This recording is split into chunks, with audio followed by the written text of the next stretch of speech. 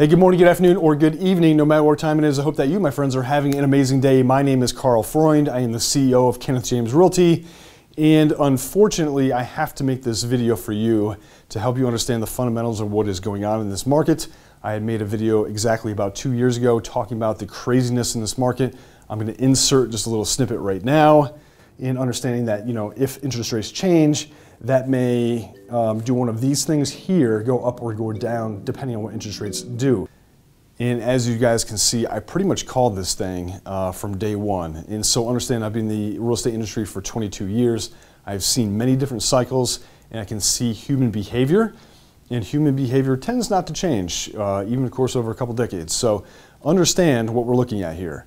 We are looking at unprecedented downward pressure on real estate prices. And I'm going to show you exactly how we can get ourselves out of this mess, barring major government intervention, which we know how that goes, right? And so understand there's really only three ways that I can see how we can get out of this thing. If you guys know of any other ways, please put it in the comments below. And by the way, like and subscribe, Dan, because I do these things for free. And so, number one, we can lower interest rates, but we can't, right? Because we are experiencing a lot of inflation right now. When we have inflation in the double digits, the Federal Reserve is going to basically step in and really restrict monetary supply. They can do that a couple different ways. They can sell off bonds and they can raise interest rates, right? And so basically that upward pressure, uh, the cost of currency is going to increase. People are less likely to borrow money and that money doesn't get you know, distributed among the economy. And you know, you can see what that, I mean, this is what the setup was, right? You know, so we kind of overcooked a lot of these markets. So what we saw was you know, people had 2.25% interest rates, and the affordability, you know, of a $500,000 house is really, really cheap, you know, accordingly if you're buying it on payments, which most people buy things on payments. So you go into a housing market and you're saying, hey, I can afford $2,500 a month. What does that get me right now? Well, at 2.25%, gets you a heck of a lot. Problem is, mortgage rates today on a 30 year fixed conventional, this is October 1st, 2022, this, this is going to date itself is 7.5%. Okay?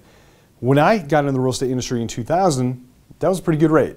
But what we got over past really 20 years was really low rates. And I mean, when you're talking about 2.25% versus 7.5%, the payment difference, guys, is huge. It could be hundreds, based on loan amount, it could be thousands of dollars a month. And so that's a little concerning because if you have a price in mind, like, you know, you don't, you don't go out to the, the housing market and say, hey, I want to buy a $300,000 house. You go out and say, hey, I want to spend $2,500 a month. That is the limiting factor. Once you can get your head around that, now you can see the setup here. Okay, so we can lower interest rates, but right now, that's off the table. Inflation is too high. Number two, we can increase wages. Here's the problem with that too. If you produce any kind of good or service, that probably requires raw materials. Raw materials to buy things right now is getting extraordinarily expensive. The supply chain is still jacked up. We can't seem to get it fixed for whatever reason. Here we are almost two years later, three years later, past COVID, right? And we still can't get our stuff together. Very frustrating. If we can start to fix the supply chains, we can start to bring the cost of raw materials and goods down, okay? And that will actually help inflation better than I think some of the other measures that we could take here are. Is it likely that wages are going to increase? No, not at the pace of inflation, okay? So you could have people making more money, which then they could afford a 7.5% loan, you could do that, okay, but all the other costs of goods and services, gasoline, food, uh, everything is going up, right? So that's not going to work really either.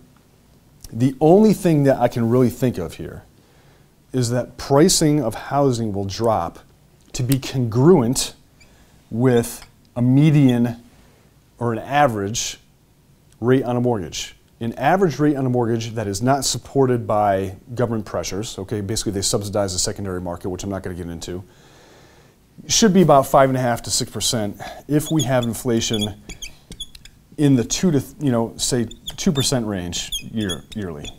If two percent inflation happens, we can see rates that are five and a half or six percent.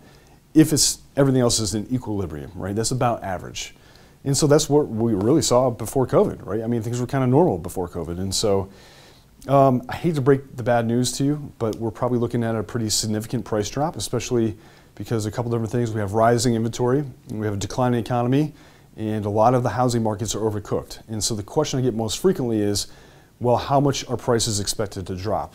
It's very dependent on the geographic area in which you live.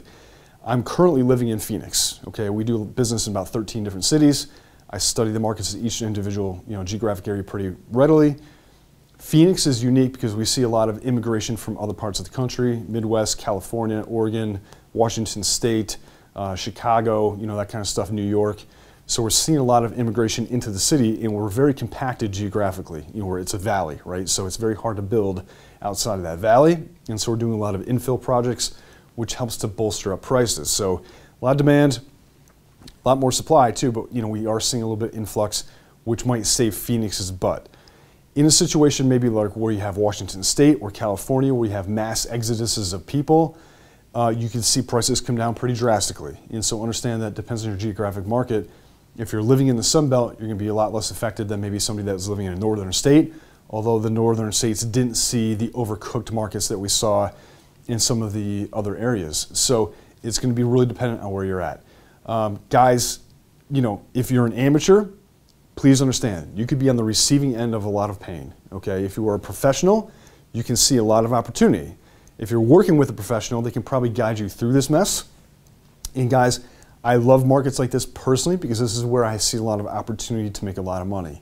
If you've been sitting on the sidelines like I have been, I did divest out of the real estate market pretty heavily before this mess happened because I saw the writing on the wall, okay? I can sit in cash and I can take advantage of opportunities that other people cannot take advantage of. I do see opportunity in commercial because we're seeing cap rates go up. I do see opportunity in long-term uh, rentals for residential, and I see opportunities in fix and flips if you can buy them right. Okay, so there's still opportunities that exist.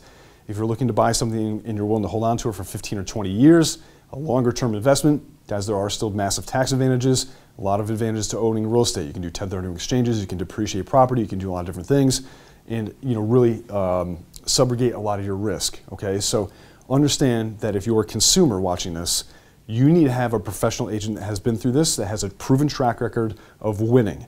If you are an agent, please do not play both sides of the coin. And I see a lot of agents speaking out of both sides of their mouth where they're saying, hey, it's a great time to sell, and by the way, it's a great time to buy. That is not the case. Okay, rarely is that the case. You need to understand, based on your geographic area, exactly what is going on and understand that even inside of Phoenix, there are pockets that you do not want to buy and there are pockets that you do want to buy. And so consult a professional, a true professional. Guys, that's it for me today. If you haven't done it already, please take two seconds to like and subscribe. That would mean the world to me. Have a prosperous day, and I can't wait to see you very, very soon. Thanks. Take care. See you.